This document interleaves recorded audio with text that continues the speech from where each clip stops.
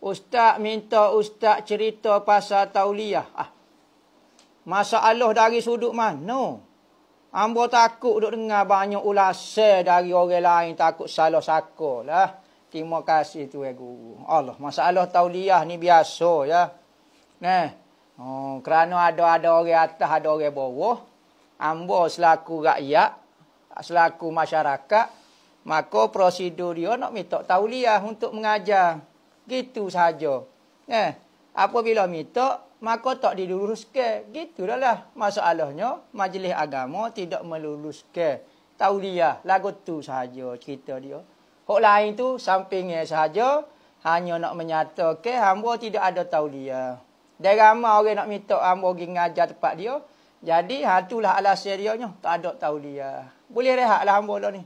Duk saja goyah kaki lah. Nah, ha, rehat. ngajar live ni pun tak cekak dah hamba. Eh, dia nak suruh kita rehat dah tu. Tak boleh tak kami panjang-panjang. Hak tu lah. Cerita asal, tajuk tauliahnya lagu tu. Nah, ha, saya dengan majlis agama sahaja. Bak tauliah. Tak ada kaitan hak lain tu samping orang komen tu jangan nak kira sangat. Nah, ha. itulah.